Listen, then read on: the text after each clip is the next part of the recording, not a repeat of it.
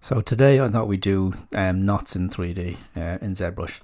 There's an amazing website here called animatedknots.com. Um, if you go to that, you'll see they have every kind of knot you can possibly imagine, and then lots more besides. They organize them into different activities. They organize them by type. They've got technical information, all kinds of stuff on it. It's absolutely an amazing resource. The best thing about it is that when you click on one, and I'm just going to choose the clove hitch rope end here, for example each one of these comes with an example um, where it actually shows you how to tie the knot frame by frame. So it kind of goes over, all loops over itself, turns around, comes out underneath, pull it tight, job done. So this is great reference for when you actually want to make your own version of these knots. I've actually created four of these knots for you, which I'll, I'll post um, afterwards. If you want, you can download them and use them in your own projects. But the purpose of this tutorial is to show you how to make them yourself.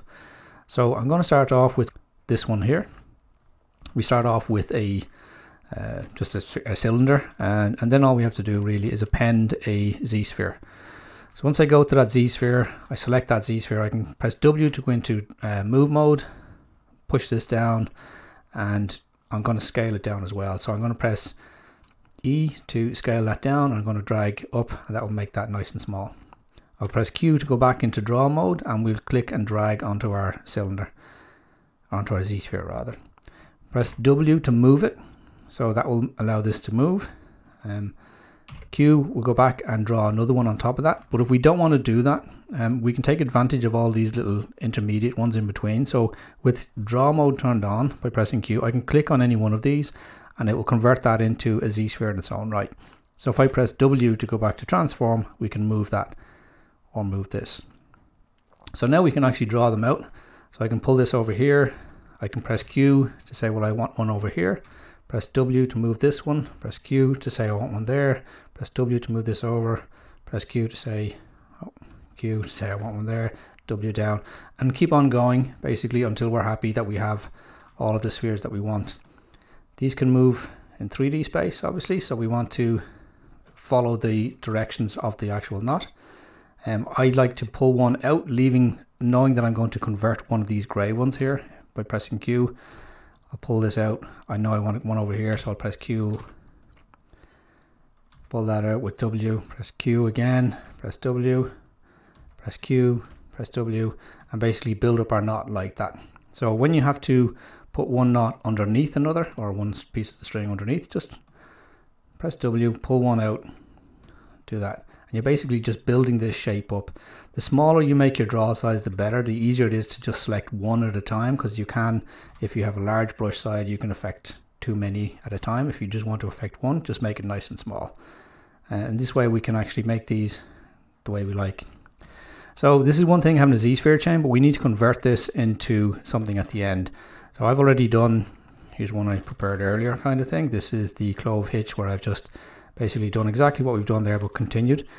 If you go down to the bottom here under adaptive skin, this is where ZBrush will actually convert this into a piece of geometry for you. So by default the settings are like this and if I hit A on my keyboard um, it's the exact, the exact same as hitting preview here. So I'll press Q to get out of this so we can see. And you can see that this is actually Dynamesh and that's not what we want. And the reason it's Dynamesh is because the Dynamesh resolution was set to 128. If we bring that down to zero, and we turn off preview and turn it back on again, you'll see that it won't actually Dynamesh this now. I'll press Shift F to see um, the geometry and there's a little bit too much information here. So that's the density setting. So this is basically the higher we have this, the more polygons it'll create. So I want to bring this right down to the minimum like that. So that's created a piece of geometry now, which is really light and very easy to manipulate. Once I'm happy with this, with this preview on, all I need to do now is hit make adaptive skin and it will create a new tool up here. So there's the new tool that's just been created. And with this now, we can just use our normal dynamic subdivision um, by turning this on and you can see that that smooths it out and we can change our subdivision levels to as many as we need to cover that. It's still a bit blocky. So what I do here is I'll turn off dynamic subdivision. I'll go back to our Q modeling. I'll go to our Q modeling tool so BZM. And with that, I'll just hover over all of these intermediate ones, loops, and alt click on them to remove those. There's too many polygons here basically. So I'm just going to remove these.